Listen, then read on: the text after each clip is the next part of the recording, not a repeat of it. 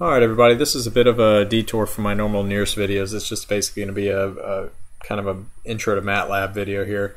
Um, in playing with lots of different programming environments uh, and programming languages, uh, I've noticed that many of the languages actually offer sample data sets.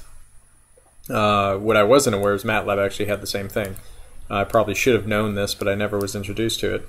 Um, so what's fantastic about this is actually there's a series of data sets readily available for you with different characteristics that would allow you to not have to worry about how to format the data, how to manipulate it to actually get it into your environment.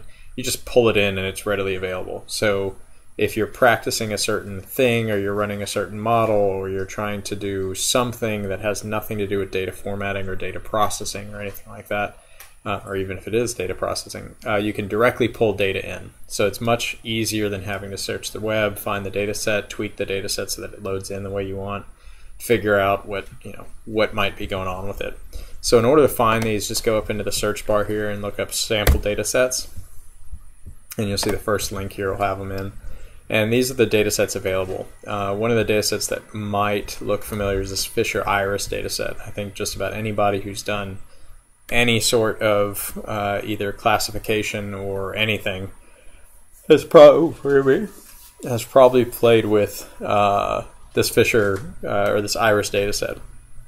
In addition to that, you have things like breakfast cereal ingredients and um, wide range, a lot of auto stuff, um, air quality stuff, simulated stock returns, etc. Uh, the one thing that's been somewhat disappointing is I can't find any detailed um, uh, descriptions of what the data sets are, so what the variables are, what they mean, you know, things like that. Um, but you can pull them in. I'm guessing there's some Google. Um, uh, you, if you Google up the data set, you can find more detailed information, but I haven't done that yet. Um, in order to pull it in, though, it's actually pretty easy here. So let me actually cancel that out.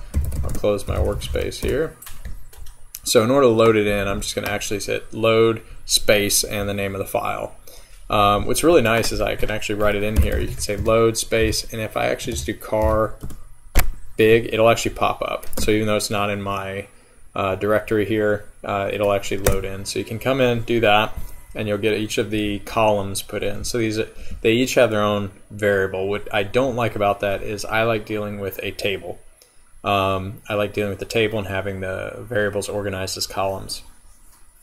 Um, so in order to do that, you can actually pull the MATLAB variable or MATLAB function table, and then all you're going to put in as input is the name of the variables. So you'll have acceleration, cylinder, I'm guessing that's four cylinder, cylinders, displacement, horsepower. The dot dot dot here will actually enable a new line at the bottom.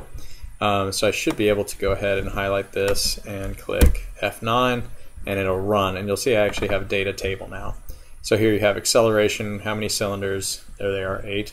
Um, what's the displacement, horsepower, what manufacturer, what model, what model year. You get all the information actually built into a table, which is quite nice. In doing that, you actually get dot notation from that. So now you can actually say data table dot your variable. And just to show you, I did a data table dot horsepower. I scatter plotted it, at, that is the x uh, axis and then data table dot acceleration is the y-axis. So assumedly, if you have more horsepower, your I believe it's acceleration time, it should go down. Uh, so if I run that, you'll see my acceleration time goes down. So great. Um, you can make some guesses here. You know, here's some a slow acceleration time with a good amount of horsepower. Imaginably, imaginably, that's probably just a big car with a big engine.